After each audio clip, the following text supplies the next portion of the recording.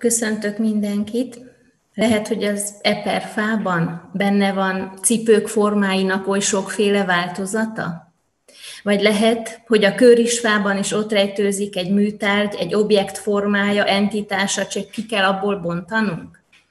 Ha figyelemmel követik a MOME idei diplomázóit, már tudják a választ igen. És így már-már az sem meglepő, hogy egyszerre lehet valami cipőkoncepció és szobrászati nyersanyagon messze túlmutató műtárgy, értelmezésre érdemes tárgyegyüttes.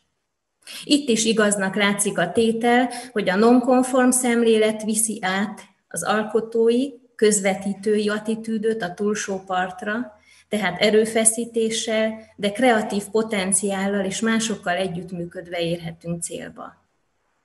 Önök tanulmányaik során, COVID idején még inkább megtapasztalhatták azt is, hogy intellektuális vágyaink ugyan célokat rajzolnak ki számunkra, de sokszor váratlanul maga az élet kínál fel nekünk megoldandó feladatokat.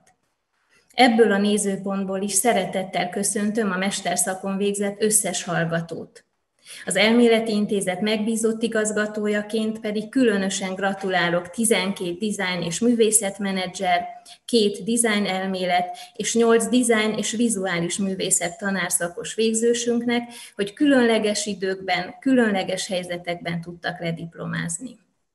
A távoktatás új helyzetében a hallgatóknak nem csak az egyetemi képzésünkben kellett helytállniuk, hanem az oktatási rendszer innovátoraivá válniuk, például tanárszakosokként a gyakorló tanításaik során. Művészetmenedzserként a szakmai gyakorlatok új dimenzióinak megtalálása során kellett kreatív potenciáljukat előhívniuk.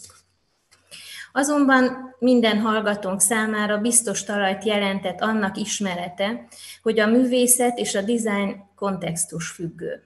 Kontextusuk az idő, és az a tér, az a társadalmi közeg, amiben létrejönnek, kiteljesednek. Még nagyobb biztonságot adhatott annak ismerete is, hogy azt, ahogy a művészet saját idejében, saját társadalmi terében hatni képes, sohasem mondható meg biztosan. A művészetek szubverszívek abban az értelemben, hogy szabaddá teszik a megszokottól teljesen eltérő foglalatoskodásunkat a valósággal. Ez egy olyan történés, ami a fordítás, lefordítás, átfordítás fogalmaival egyenlő.